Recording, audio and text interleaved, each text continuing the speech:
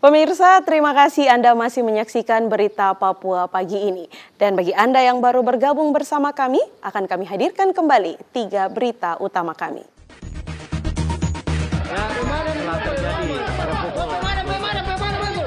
Diduga karena korsleting listrik, sebuah rumah di Kabupaten Mimika terbakar.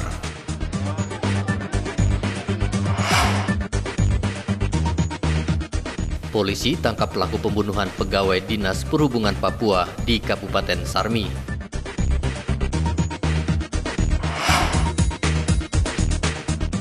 Terus bertambahnya pasien positif COVID-19, Pemda Papua menaikkan status tanggap darurat selama 28 hari ke depan. Menjadi status tanggap darurat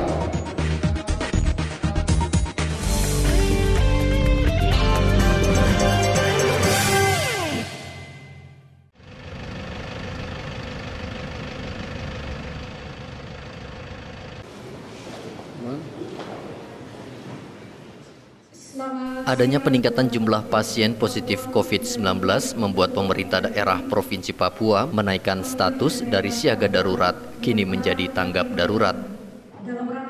Status tanggap darurat ini juga diambil berdasarkan kesepakatan bersama Forum Pimpinan Daerah usai menggelar rapat di Gedung Negara Dok 5 Jayapura. Sementara Pemerintah beralasan tenaga medis dan fasilitas kesehatan yang minim menjadi salah satu faktor pemberlakuan status tanggap darurat ini. Bagi Provinsi Papua, untuk itu saya yang berkata di ini luka NMP SIP S4 luka NMP SIP MH jabatan gubernur dengan ini menyatakan meningkatkan status siaga darurat pengendalian corona 19 menjadi status tanggap darurat pencegahan dan penanganan corona. Di Provinsi Papua selama 28 hari atau dua kali masa inkubasi COVID-19 terhitung mulai tanggal 9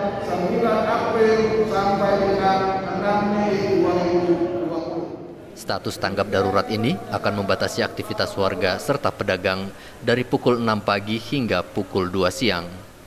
Gubernur juga meminta kepada aparat kepolisian dan Satpol PP untuk menindak tegas warga yang masih membandel dan melakukan kegiatan yang mengumpulkan banyak orang. Sementara penerbangan penumpang dan kapal akan terus ditutup hingga 23 April mendatang.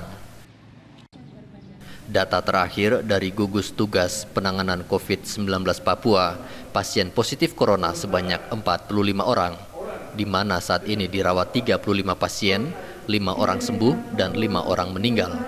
Sementara pasien dalam pengawasan berjumlah 54 orang dan jumlah orang dalam pemantauan sebanyak 3.084 orang. Dari Jayapura, Papua, Riantonai dan Hendra melaporkan. Tidak berkeliaran, ya, dijaga oleh aparat. Satgas akan apa namanya uh, mengakomodir terkait dengan makan minum yang bersangkutan selama di karantina. Seorang warga di Kabupaten Merauke yang dites cepat positif corona saat ini dikarantina oleh Dinas Kesehatan. Secara teknis bagaimana? Warga tersebut dikarantina di Hotel Asmat Merauke sambil menunggu tes kedua keluar. Sekretaris Dinas Kesehatan Merauke, Dr. Neville Muskita mengatakan, pasien ini dalam kondisi stabil dan terus dipantau oleh tenaga medis. Tidak berkeliaran, ya, dijaga oleh aparat. Satgas akan apa namanya uh, mengakomodir terkait dengan makan minum yang bersangkutan selama di karantina. Tadi kami dengan sana dengan tim dari rumah sakit sudah bicara dengan manajemen di hotel untuk terkait bagaimana persiapan-persiapan dan uh, secara teknis bagaimana laundrynya kita amankan seperti apa teknis-teknis itu, itu untuk pencegahan penularan. Ya. Jadi semua yang dari pesawat itu dok akan dibawa ke situ? Semua yang dari pesawat dan hasil rapid testnya positif. Oh gitu. Semua penumpang Lion Air yang memang belum semua ini kan tadi sudah saya sampaikan di ya? manifestnya itu ada 110 kalau nggak salah dan baru sampai sampai siang ini baru 54 yang sudah datang ke rumah sakit untuk dites. Dan dari 54 itu satu positif. Kan kita harus antisipasi.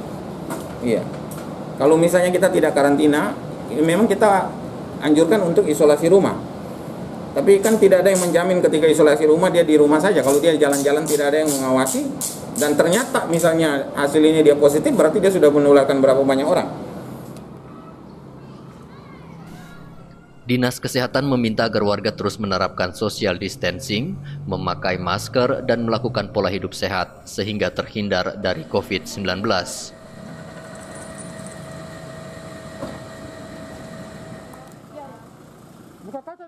Data terakhir menyebutkan pasien positif corona di Kabupaten Merauke berjumlah 4 orang, PDP 4 orang, dan orang dengan pemantauan di rumah sebanyak 23 orang. Muhammad Ridwan melaporkan dari Merauke, Papua.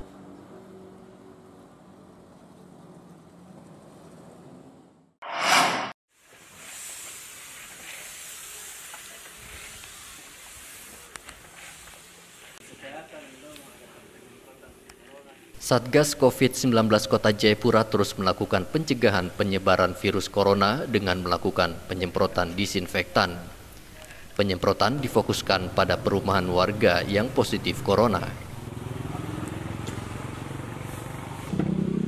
Rustan Saru selaku Ketua Penanganan COVID-19 Kota Jayapura juga memberikan suplemen dan vitamin kepada seluruh tenaga medis yang ada di puskesmas di Kota Jayapura.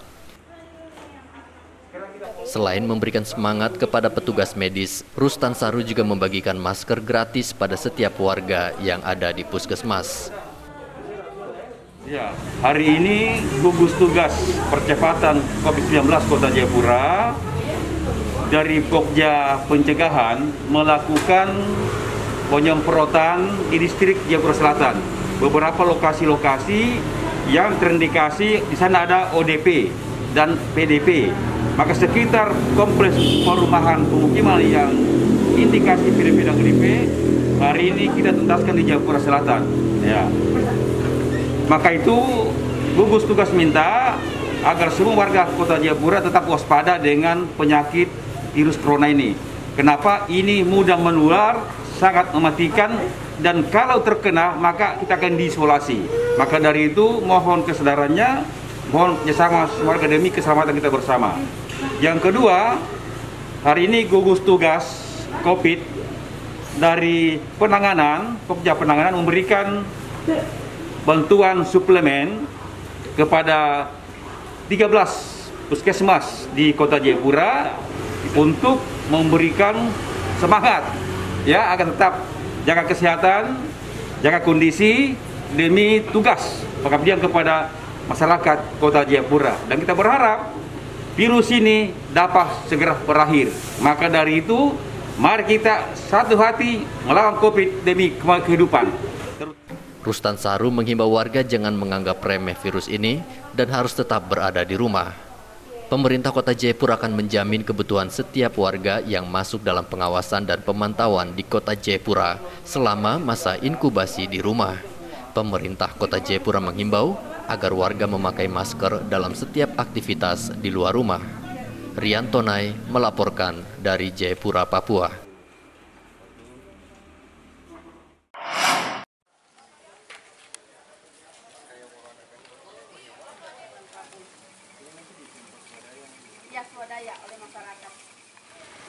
Puluhan warga di kota Sorong, Papua Barat mendatangi kampus Universitas Muhammadiyah Sorong untuk mengantri cairan disinfektan yang dibagikan pihak kampus secara gratis.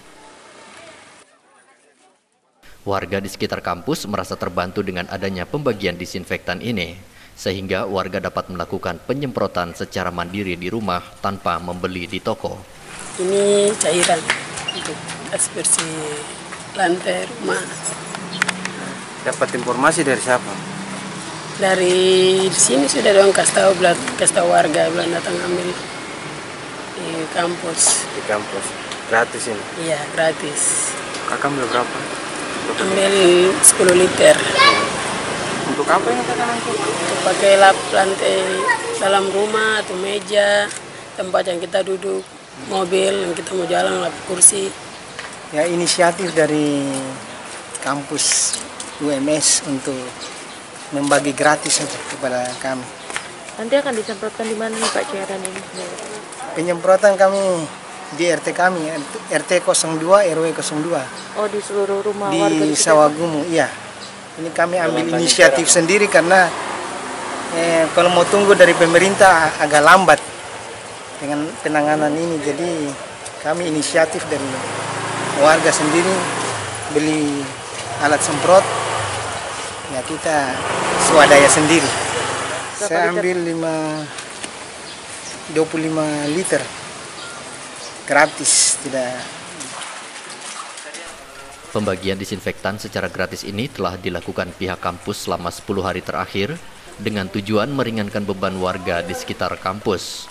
Kami dari perguruan tinggi itu dituntut harus ada pengabdian kepada masyarakat. Jadi ini peluang baik kita bantu masyarakat. Pak berapa banyak yang dibagi? Ini akan berlangsung sampai kapan Pak? Eh kalau petunjuknya dari Pak Rektor malah disuruh tingkatkan ya karena melihat situasinya banyak masyarakat yang datang maka produksinya ditingkatkan ya kemudian eh, ada petunjuk juga dari Pak Rektor malah kalau bisa diantarkan gitu kan untuk menghindari kerumunan ya tapi kami juga kesulitan kalau diantar ya ya saya lihat lebih sudah mulai responnya masyarakat bagus ya Pemerintah daerah Kota Sorong terus melakukan himbauan agar warga tetap berada di rumah dan melakukan pola hidup sehat. Sadrak Wanggai melaporkan dari Kota Sorong, Papua Barat. Pemirsa, berita yang baru saja Anda saksikan sekaligus menutup jumpa kita dalam berita Papua pagi ini. Saya Cynthia Delima bersama kru yang bertugas ucapkan terima kasih. Kami pamit undur diri. Selamat pagi, semangat pagi, Wanyambe.